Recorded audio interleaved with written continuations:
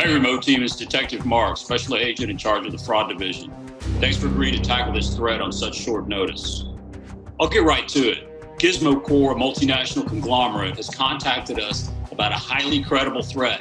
Seems that one of their employees went rogue and is actively working to divert payroll funds.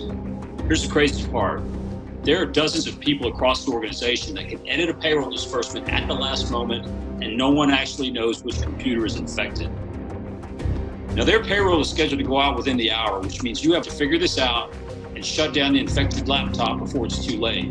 Remember, police work is a team game, not a solo act. I believe in you. Go get them.